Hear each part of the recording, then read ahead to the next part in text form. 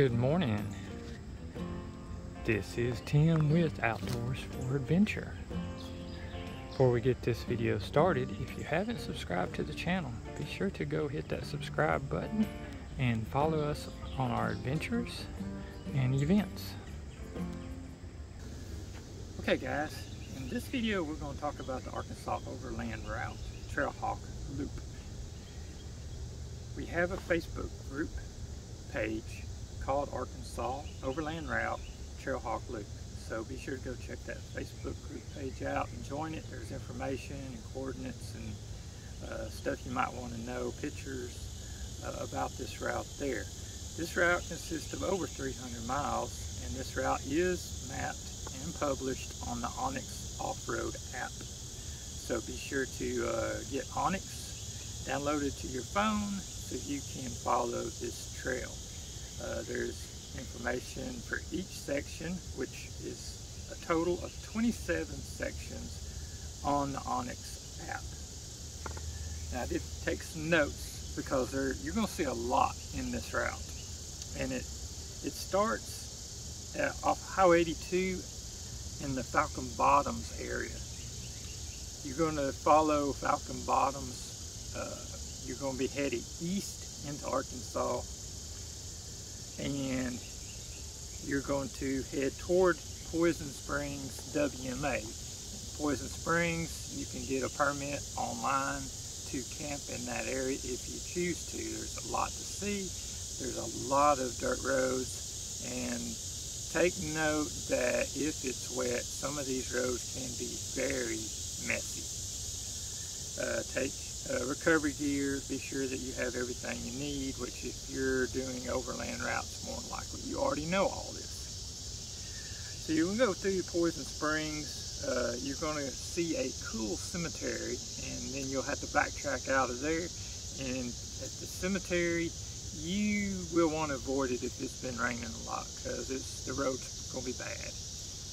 Uh, after you leave that cemetery, you'll cut across there's to be a mix of paved, very little paved, but some paved, a lot of dirt roads. Also can be bad when they're wet. And you're going to head on down to a place called Spoon Bend Camping Area. that you can camp at, it's right on the Ouachita River.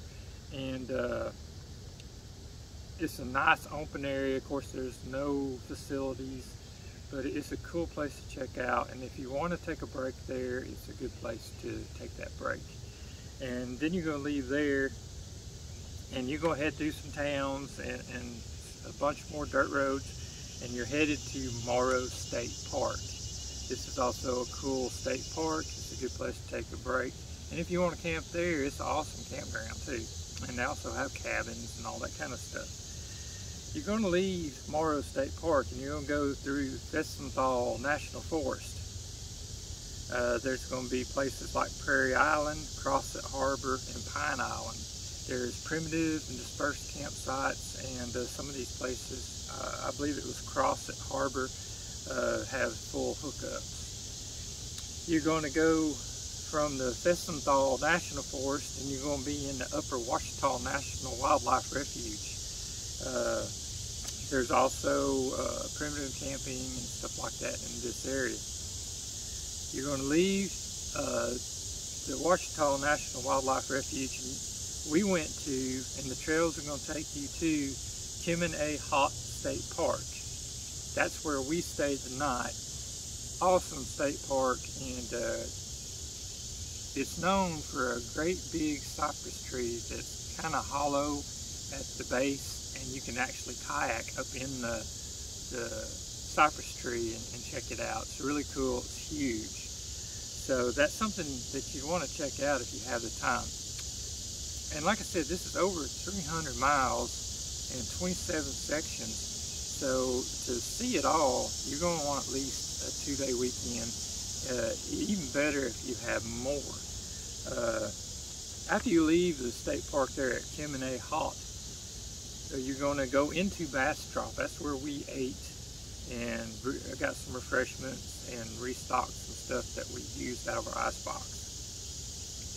So you're in Louisiana at this point. Uh, well, I guess you've been at Louisiana since you was at the state park. But you're going to uh, leave Bastrop and you're going to cut around the uh, south end of the Ouachita National Wildlife Refuge. You're going to go over a river and you're going to start heading back north on the uh, west end of the Ouachita River.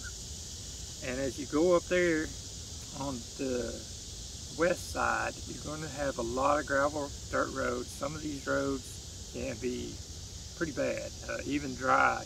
Uh, some of them was rutted up pretty good and we had to take our time and choose our line.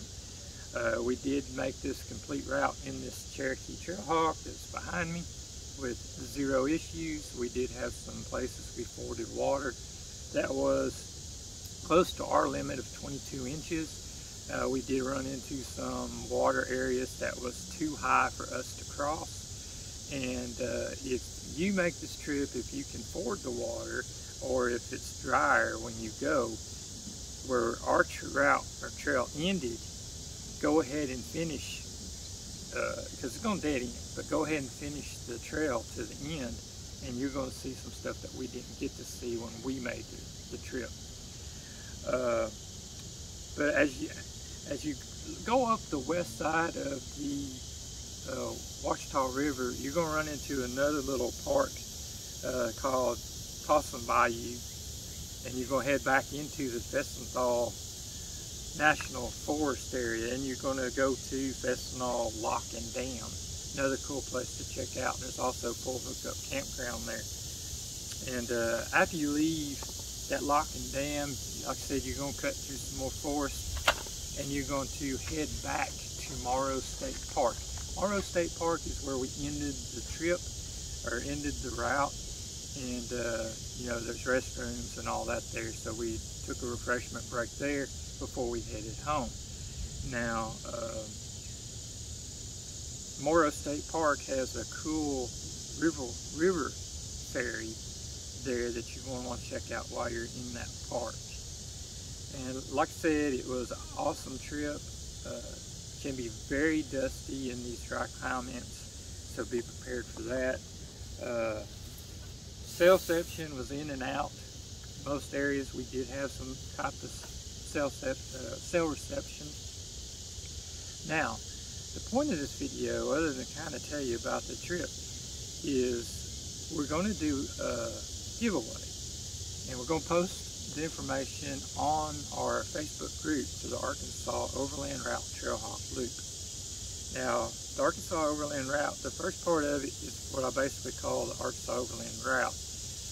And then the later part of it that goes through the Felsenthal National Forest and the Ouachita Wildlife Management Area, that area there forms the shape of a hawk. So I call that Trailhawk Loop, but it's all one overland route.